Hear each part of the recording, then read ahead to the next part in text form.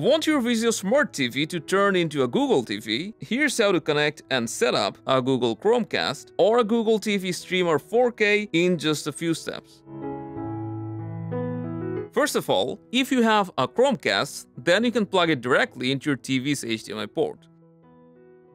And if you have the streamer, then grab an HDMI cable, plug one end into the streamer, and the other end into your TV. Then connect the Type-C cable into your streamer or Chromecast and use the included adapter to plug it into power. Now your Google TV streamer will start booting up, so grab your Vizio remote, press on the input, and choose the HDMI port that your Google TV streamer is connected to. Now make sure you have inserted the batteries into the remote and let's start this setup. Choose your language and your region then it will prompt you to use the Google Home app to set it up, but you can just go down and select Setup on TV instead. Now choose your Wi-Fi name from the list and connect to it by entering the password.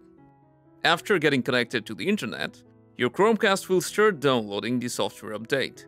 This will take a while, so be patient and wait until your TV restarts and you're on the sign-in page. So just enter your Gmail and password to log in. Now go ahead and accept the terms of services then it's recommended that you allow search across all your TV apps. Then you can activate voice match and also enable personalized result. Then you can choose the apps that you want to pre-install.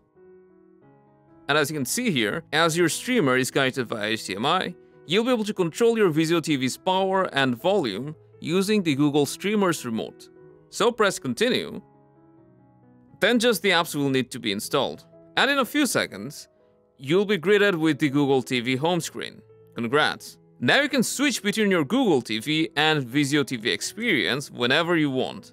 Happy streaming!